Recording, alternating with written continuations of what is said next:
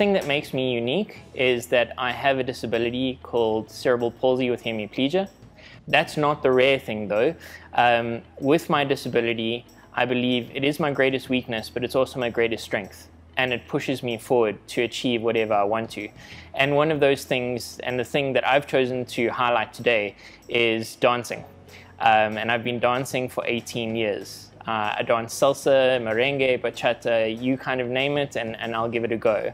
Uh, I really, really love it, um, and I even do some dance lessons, teach some people. Um, I call myself a salsa disciple because I just want to spread the moves, uh, and, and I think that's what makes me rare.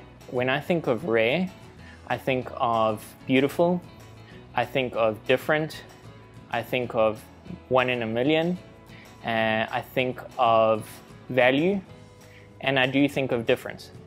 I think the awareness of rare disease is so important because a it's such a big uh, portion of the population and it's something that needs to be taken into account it's something that uh, businesses um, shops or, or, commerce needs to be aware of in the workplace someone comes and says you know i have a rare genetic disease that um, makes me very tired and so i can only work you know, for three hours at a time. I will still do the same amount of work, but I, it's just going to be spread out throughout the day.